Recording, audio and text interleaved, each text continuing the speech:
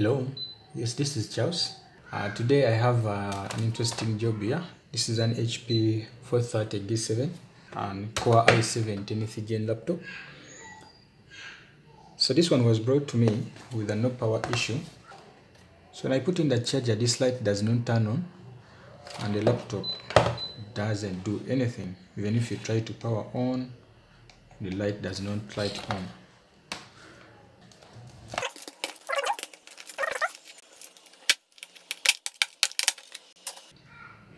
So now what I've realized that when you put in the charger into this laptop, it doesn't turn on and the light does not light up. So which indicates that probably you don't have 3.3 volts and maybe you might not even have 19 on the motherboard. When I use the multimeter here and try to measure the voltage, basically I'm going to start with the voltage from the charger. So as the charger comes in, it connects here. And when I measure here, I see no voltage in the multimeter. So let me try to take out the charger and measure and see if the charger has got a voltage. So looks like the charger has got 19 volts. Now on this side where the charger comes in, I don't see the protection MOSFETs. So probably those protection MOSFETs are at the back side of the motherboard. So let me take out the motherboard so that we take a look at those protection MOSFETs.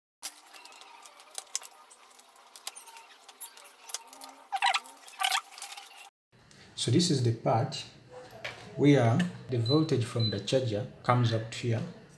It has to, go, to flow through these MOSFETs up to the main motherboard. So let me connect the charger and see if the voltage is able to flow from these MOSFETs here. So when I measure, there's no voltage here. When I measure on this MOSFET, I see no voltage. So probably the voltage is not able to flow through. Wow, I can feel something getting hot here. So this MOSFET here is heating up, which indicates that we must be having a short on the main motherboard. That's why actually when you plug in the charger, the voltage drops to zero because here we don't see any voltage even though the charger is giving out 19 volts. So if you have a short here, I, I suspect it is on the main 19 rail. And I'm going to first take a look at all the components and see their condition. And then if I'm not able to see the short by physical observation, then I will try to use the power supply and inject the voltage in a motherboard to realize which part is short to ground. So at the input here, you can see we have two types of MOSFETs. We have this pair here, the diode and the first MOSFET and the second MOSFET. Then you also have this pair here, the diode, the first MOSFET and the second. So both of these ones are all controlling the input power. One of this one is for the charger and this small one is for the type C. Remember the type C can also be used for charging and powering on the motherboard. So what I've seen, when I plug in the charger, this one was heating up, which is the one that is connected from the main charger. So I suspect that for this one to heat up, there is a short at the output. And the output is here. You can see both of these inputs have got a common output. So i'm going to use my power supply connect the positive with power supply here and the ground the negative to ground and then i'm going to observe and see which part of the motherboard is taking a lot of current which means the part that is taking a lot of current is going to be heating up. So i have soldered the positive line from the power supply on the common output and then I've put the negative on ground. So you can see from my power supply I'm going to be injecting in 10 volts and I'm going to be increasing the current slowly. So right now when I plug in the negative you can see that the voltage drops to zero and then the current it goes up to 23 because that's the limit I've set so when I increase the current let me put it up to 1 amp. And you can see that the voltage is not raising which means there is a short on the motherboard. So right now when I try to fail for any heating part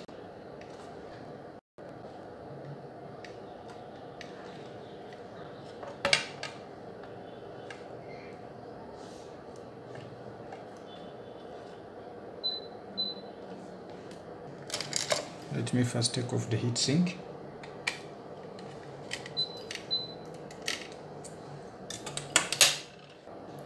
So let me increase on the current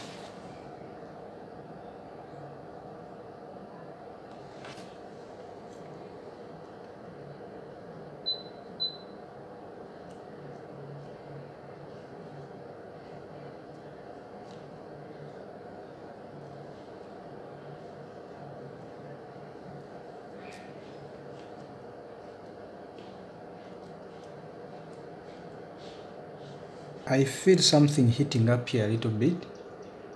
And down here I have a, a capacitor this small capacitor which is connected to the main rail you can see from this fuse. And then comes back like this and goes out of these two MOSFETs. So when I test this capacitor in continuity mode I can see there's a short on both sides on the negative and on the positive. So you can see right now it's giving out 0.8 on the positive and 0.8 on the negative. Now this one is possible to any any component that is connected on the rail. However when i was feeling the heat after connecting the power supply to the motherboard this part was a bit heating up. So the temperature wasn't so high but there was something getting warm. So i'm going to first take off this capacitor here then I try to measure and see if there is any difference.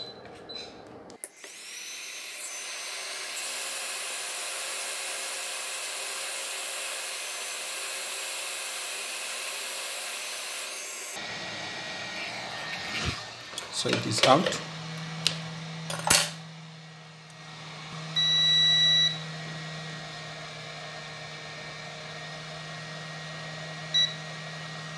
so right now you can see probably the short was on this capacitor. The short is out. So when I measure both sides of this capacitor here looks to be short so such a small component could make such a new laptop very useless. So that's good that you have been able to discover this capacitor so let me put back everything so that we test and see if we have the display.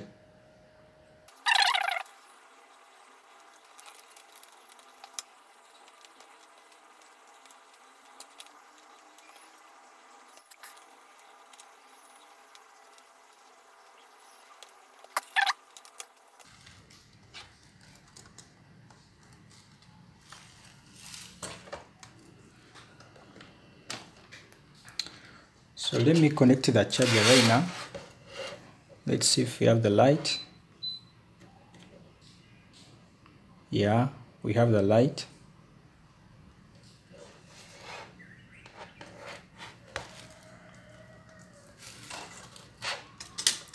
We also have light on the power button.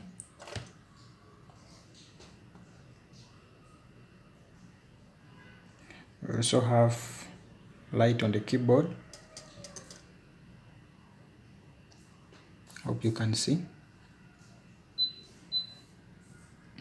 So let's wait and see if we have the display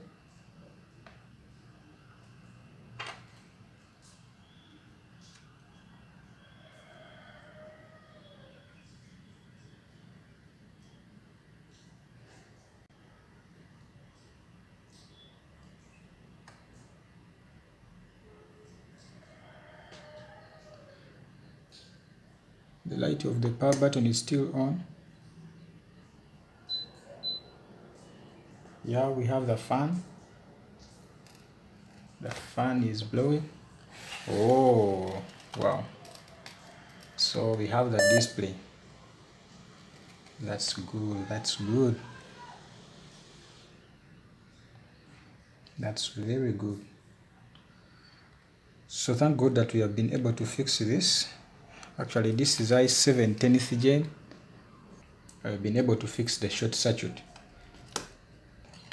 Yeah I'll just put back the heatsink do some more cleanup then assemble it and send it to the customer. So thanks guys for watching. If you like this video you can give it a like. If you have any question you can comment. And if you like the video you can subscribe. Okay see you again